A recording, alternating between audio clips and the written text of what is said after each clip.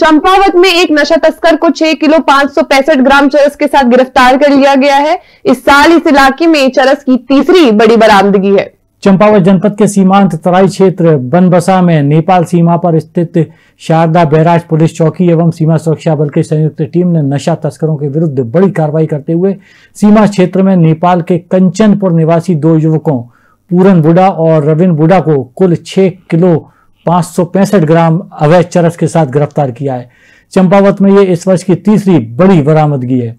इस बरामदगी और गिरफ्तारी को अंजाम देने वाली पुलिस टीम को पाँच हज़ार रूपए की धनराशि देकर पुरस्कृत किया जा रहा है।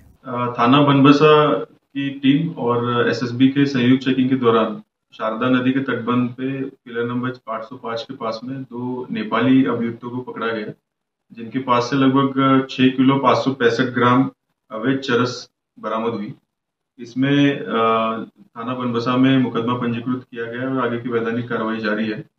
इसमें दो अभियुक्त गिरफ़्तार हुए, जिनका नाम है पूरन गुड़ा और रविंद्र गुड़ा। ये 28 से 29 साल के बीच में इनकी उम्र है और ये दोनों ही नेपाल के रहने वाले हैं, जिला बजांग, कंचनपुर।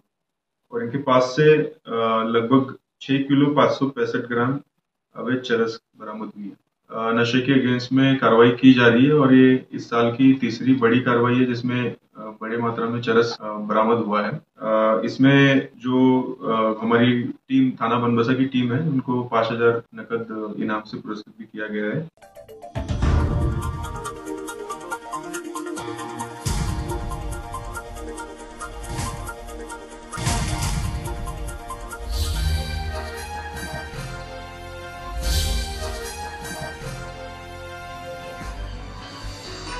आप देख रहे हैं DACA News.